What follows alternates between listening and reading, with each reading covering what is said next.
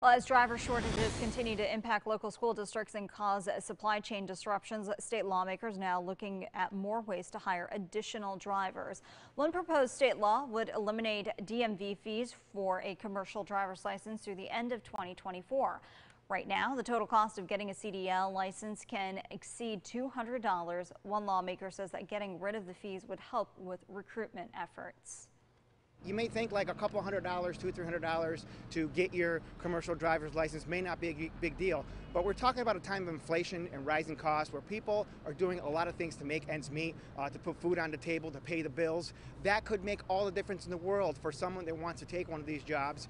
Lawmakers will not return to Albany until next year, so it's unclear when this proposal would be considered.